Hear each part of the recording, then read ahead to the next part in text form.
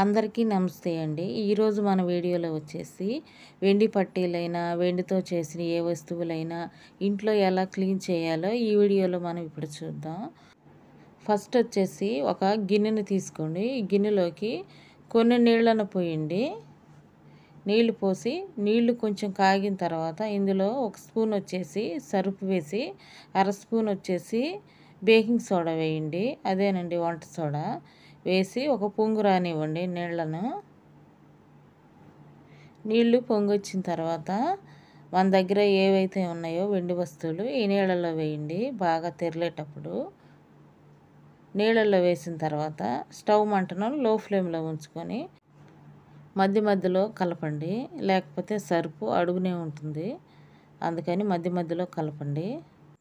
ఒక మూడు నిమిషాలు ఉంచితే సరిపోతుందండి. చాలా వరకు ఈ వేడి నీళ్ళల్లో క్లీన్ అయిపోతుందండి పట్టేలుకున్న మురికంతా.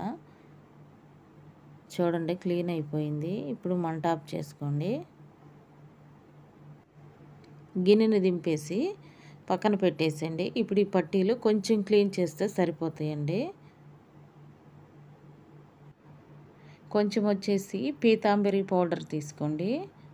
పౌడర్ తీసుకున్న తర్వాత పట్టీలను ఒకసారి క్లీన్ చేయండి పౌడర్ తోటి పాత బ్రష్ తీసుకొని కొంచెం కొంచెం వాటర్ చల్లుకుంటూ ఈ పట్టీలను క్లీన్ చేయండి. మనం ఇంట్లోనే సులువుగా క్లీన్ చేయొచ్చండి. ఇవే వెండి పట్టీలు మనం మార్కెట్లో క్లీన్ చేయించినట్లయితే యాభై నుంచి అరవై రూపాయల వరకు తీసుకుంటారండి.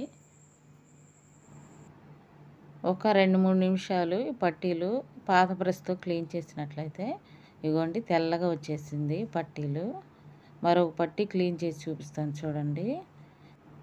ఎంతసేపు పట్టదండి? మనం మార్కెట్ వెళ్ళే పని లేకుండా ఇంట్లోనే ఒక పదిహేను నిమిషాల్లోనే శుభ్రంగా వెండి పట్టీలను మనం క్లీన్ చేసుకోవచ్చండి.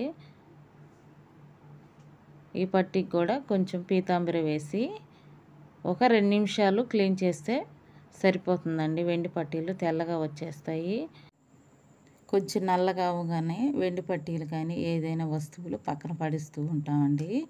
అలాంటప్పుడు వేడి వాటర్లో కొంచెం సరుపు కొంచెం వచ్చేసి వంట సోడా వేసి క్లీన్ చేసినట్లయితే తెల్లగా వచ్చేస్తాయండి. మనం మార్కెట్ వెళ్ళే పని లేకుండా ఇంట్లోనే ఈజీగా ఈ పట్టీలను మనం క్లీన్ చేసుకోవచ్చండి.